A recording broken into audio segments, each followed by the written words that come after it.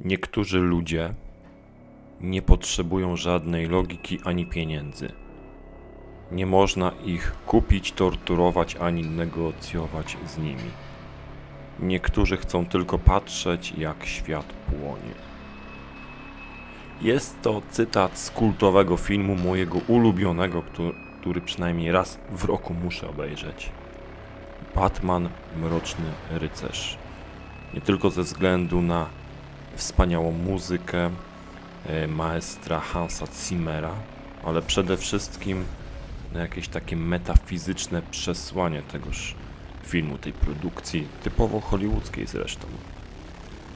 Słowa Alfreda wypowiedziane do Batmana, wskazujące, że zło jest nielogiczne, że zło wymyka się naszej ludzkiej logice, że zła nie będziemy w stanie zrozumieć. Mysterium Inquitatis. Tajemnica zła. Zły, zło chce tylko niszczyć dla samego niszczenia.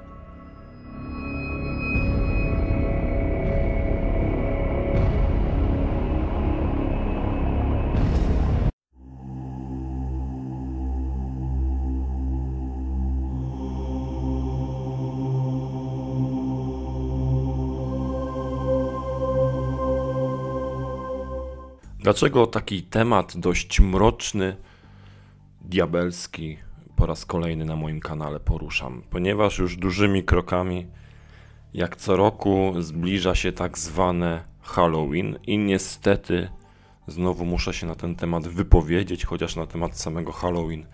Jak zawsze, już właściwie tradycyjnie pojawi się oddzielny filmik 31 października. Mówię niestety, ponieważ nie lubię poruszać tematów, które ogniskują się wokół zła i niejako są prowokowane przez istnienie osobowego zła, szatana. O szatanie nie musimy właściwie w ogóle mówić, poza tym, że istnieje. Współczesny świat chce usprawiedliwiać zło, ponieważ uważa, że nie potrzebujemy rozgrzeszenia. Współczesny człowiek nie potrzebuje rozgrzeszenia. Roz grzeszenia. Dlaczego? Według co niektórych tak zwanych nowoczesnych myślicieli współczesny świat nie potrzebuje rozgrzeszenia, bo grzech nie istnieje. Niektórym się tak może zdawać, rzeczywiście, chociażby przez to, że patrzymy na zło i nie jesteśmy w stanie go zrozumieć. Zło zły chce tylko tego, aby świat płonął. I świat płonie. Nasze serca kiedy żyją w grzechu ciężkim, wydawałoby się, że płoną, ale tutaj w naszych sercach działa też inna logika logika miłosierdzia Bożego. Chciałbym Wam na początek przeczytać wywiad z demonem. Naprawdę. Fragment książki Twarzą w twarz z demonem księdza Giuseppe Tomaselliego. Tak wygląda okładka tegoż.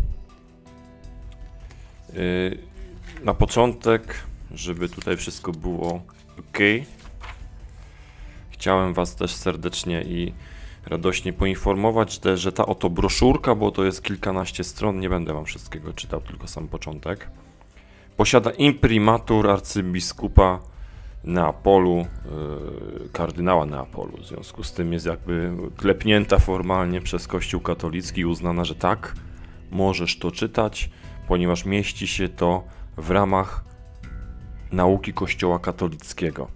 A zatem e, ksiądz Giuseppe Tomaselli, który był egzorcystą i chłopina mówiąc tak, yy, nie wiem dlaczego tak mówiąc, ale ksiądz Giuseppe Tomaselli w każdym razie urodził się w 1902 roku, już oczywiście jak się domyślacie nie żyje, zmarł w roku 1989 w maju, a zatem w miesiącu poświęconym Maryi bardzo często w czasie egzorcyzmów przywoływał właśnie Maryję, tę, której imienia szatan nie może wypowiedzieć, ponieważ się, się nią brzydzi, ponieważ Maria jest tak przeźroczysta, że zawsze patrząc na Maryję widzimy Boga. Dlatego szatan na Maryję nie może patrzeć, bo nie zniósłby jasności Boga. A Bóg nie chce na razie oślepiać szatana, chociaż mógłby go zniszczyć w ułamku sekundy, ponieważ wie, że, nasz, że nasze słabości przekuwa w moc właśnie wówczas, kiedy doświadczamy zła i grzechu, i kiedy ten grzech i to doświadczenie zła oddajemy Mu, Bogu, przez ręce kapłana w sakramencie pokuty i pojednania, aby czerpać moc z Eucharystii.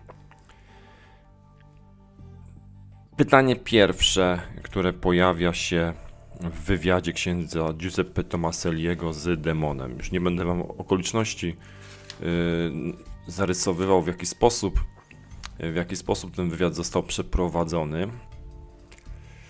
Nie ma jakby na to czasu, a też nie chcę po prostu tutaj wam zanudzać, że znowu będziecie siedzieli 48 godzin, prawda, przy tym filmie. Bo... No, no dobrze. Mm. Pierwsze pytanie. Ksiądz Giuseppe Tomasellis zwraca się do demona. Ty, Melit, jako demon istniejesz czy nie? Tak trochę prowokacyjnie. Ignorancie, jak mógłbym nie istnieć, odpowiada demon. Kiedy jest ci to na rękę, mówisz, że istniejesz, innym razem bezczelnie twierdzisz, że cię nie ma. Powiedz mi jednak, Melit, kim byłeś zanim stałeś się demonem? Melit odpowiada: Byłem oficerem na dworze anielskim, byłem cherubinem, teraz jestem urzędnikiem szatana. Dlaczego opuściłeś raj i spadłeś do piekła? Nie wiedziałeś o istnieniu piekła, dlaczego zbuntowałeś się przeciwko Bogu? On najwyższy powiedział mi i moim towarzyszom, że podda nas próbie. Nie powiedział, że ukaże nas piekłem, ogniem wiecznym, a tam jest ogień, ogień, ogień. Na czym polegała ta próba, której zostaliście poddani, wy, wszyscy aniołowie? Wszyscy aniołowie zostali poddani tejże próbie. Mieliśmy, i to jest bardzo ważne, pogodzić się z tym, że Syn Najwyższego przyjmie ludzką naturę i my, posiadający naturę anielską, która jest o wiele szlachetniejsza od ludzkiej, mielibyśmy Mu pokłon oddać i czcić Go. Lucyfer, który lśnił jak słońce na niebie, zbuntował się. Jeśli stanie się człowiekiem, nie będę mu służył, będę ważniejszy od niego, powiedział. Podczas tej próby pojawiła się ludzka postać. Człowiek ten miał na głowie cierniową koronę, czy był na krzyżu? pyta ksiądz Giuseppe. Nie, była to postać normalnego człowieka. Wiele zastępów anielskich podzielało opinię Lucyfera. Wywiązała się straszna walka pomiędzy Michałem i Lucyferem, i nagle wśród ognia i siarki spadliśmy do piekielnej otchłani. Nie, nie narozrabiałeś owego dnia, zbuntowany aniele – Żałujesz teraz zła, które uczyniłeś?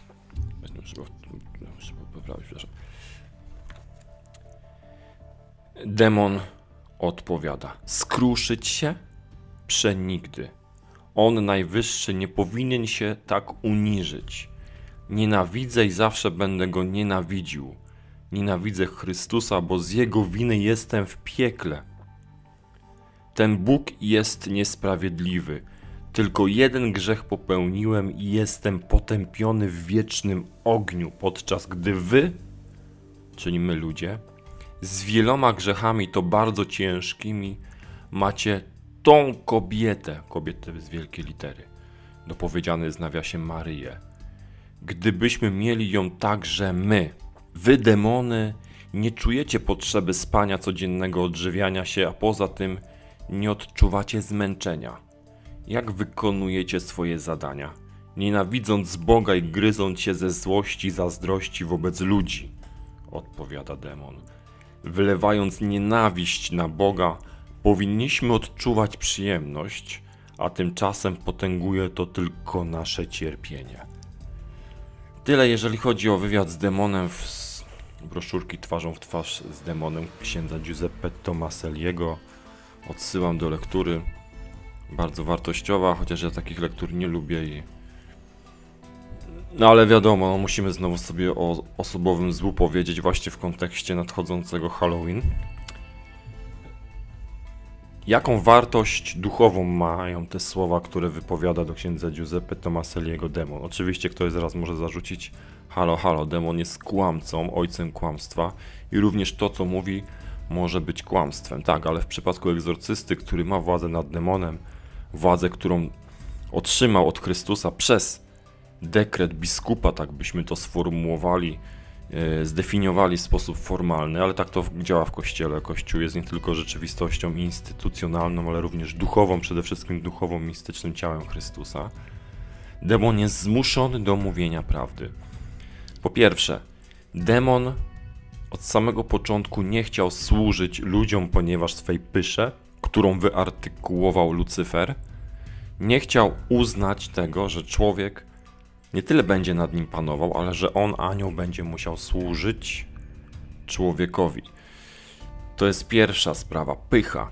Y, Lucyfer, pytany nawet o to, czy żałuje, z całą premedytacją, świadomością i siłą swojej woli, a za siłą jego woli idzie poznanie, doskonałe poznanie dobra i zła.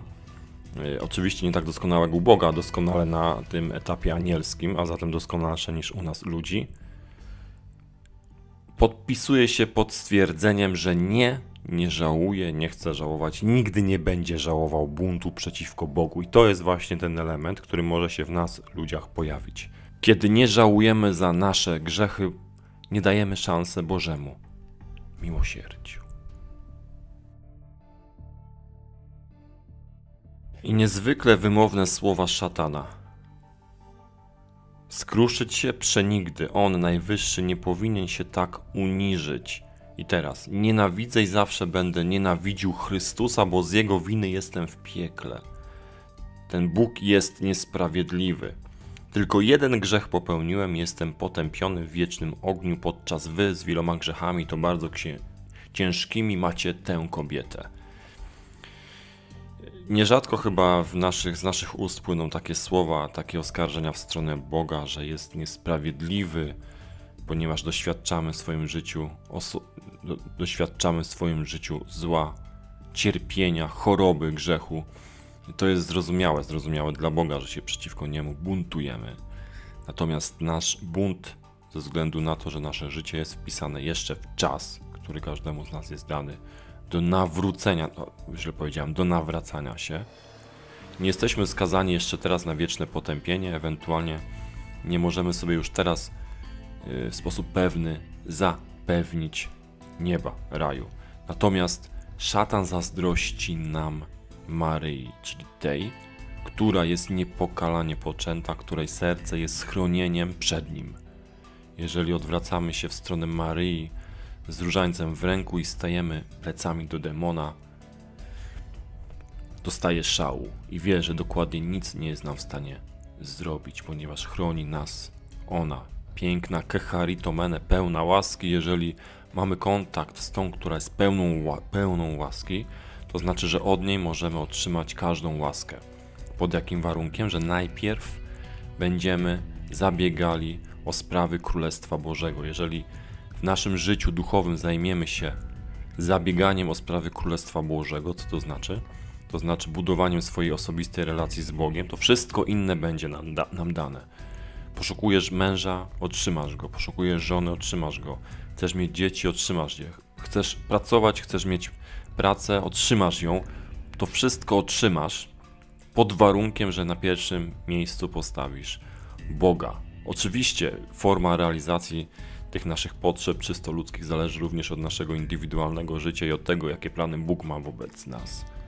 Natomiast będąc blisko Maryi, zawsze jesteśmy blisko łask Bożych. Ci z nas, z Was, którzy na co dzień budują swoją relację z Bogiem przez budowanie dziecięcej relacji z Maryją, dokładnie wiedzą, że w chwilach cierpienia i samotności ona zawsze jest z nami.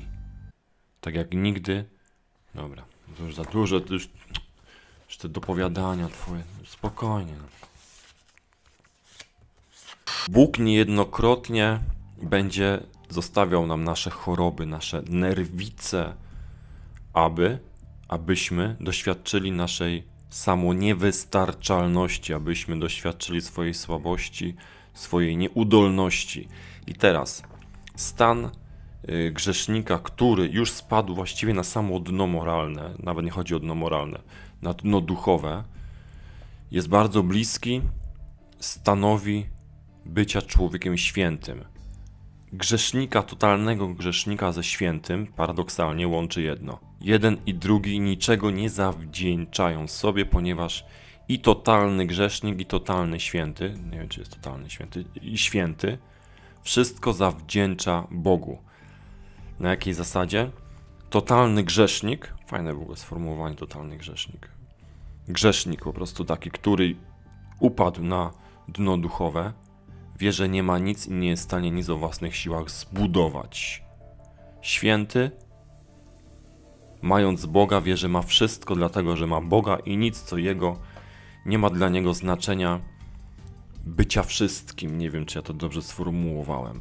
Jak kiedyś powiedział ojciec Maria Eugeniusz od dzieciątka, Jezus, aby zostać świętym, trzeba dojść do takiej skrajności, do tak wielkiego unicestwienia, że pozostaje już tylko jedno: pokładać nadzieję w Bogu. Przy całkowitym zubożeniu zbawić może tylko akt ufności, całkowitym ubóstwie, akt nadziei wyrastający z zupełnego ogołocenia. Stan najwyższej świętości niemal zlewa się ze stanem grzesznika, który nie ma już nic i którego jedynym bogactwem jest nadzieja pokładana w Bożym miłosierdziu. Czasami się niesłusznie mówi, że nadzieja jest matką głupich. Nadzieja jest matką ufności. Ufność, zaufanie jest pewną drogą do nieba. To, co otrzymała siostra Faustyna od Jezusa Miłosiernego, Jezu, ufam Tobie i to, co później rozwinął ojciec Dolindo, Jezu, Ty się tym zajmij, jest kwintesencją życia duchowego. Jezu, Ty się zajmij mną, moim życiem. Tobie oddaję wszystko, z czym teraz się zmagam, o czym myślę, wszystkie moje plany, wszystkie moje niepowodzenia i sukcesu i sukcesy. Jezu, Ty się tym zajmij, ponieważ bez Ciebie nie posiadam niczego i dlatego jestem grzesznikiem, do którego szatan nie ma dostępu, jeśli zbliżam się do Bożego miłosierdzia i swoje grzechy oddaję Tobie, Boże, w sakramencie pokuty i pojednania. Do zobaczenia najpóźniej w niebie. Cześć.